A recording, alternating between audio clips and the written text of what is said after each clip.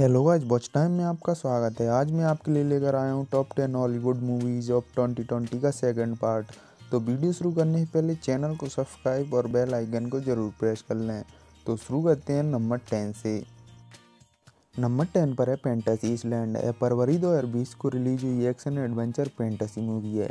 Movie शुरू होती है एक कंटेस्ट के कुछ विनर से, जिनको पेंटासी आइलैंड पर इन्वाइट किया जाता है। इस आइलैंड पर उन सभी को अपनी एक एक पेंटासीज या एक चाह को पूरा करने का मौका मिलता है। आई ने इसे 4.9 की रेटिंग दी है।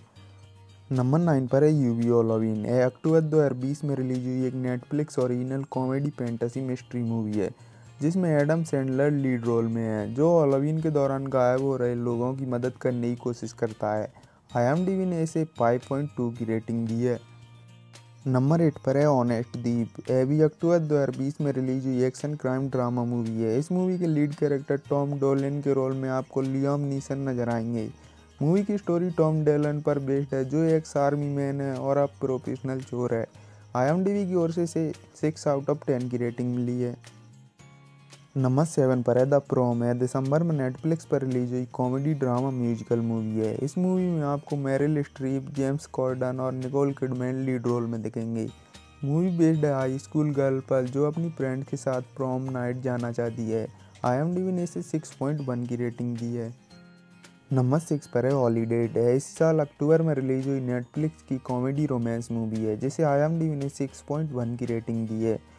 मूवी की स्टोरी बेस्ड है स्लोन एंड जैक्सन पर, जो एक दूसरे से मॉल में मिलते हैं और हर हॉलीडे साथ में मनाने का प्रॉमिस करते हैं।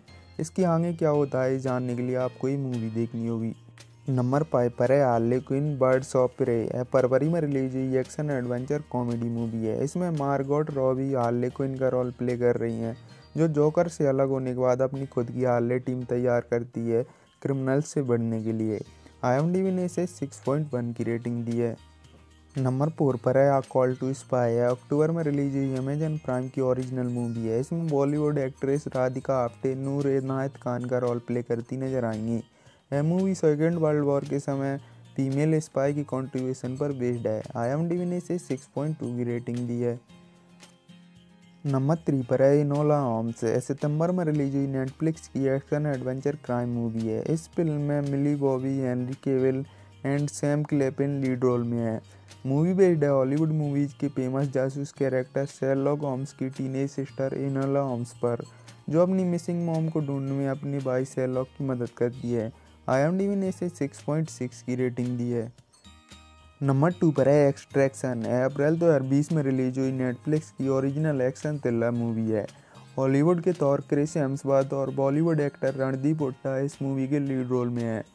मूवी की कहानी इंडियन ड्रग माफिया के बेटे की किडनैपिंग और उसे बचाने की कोशिशों पर बेस्ड है।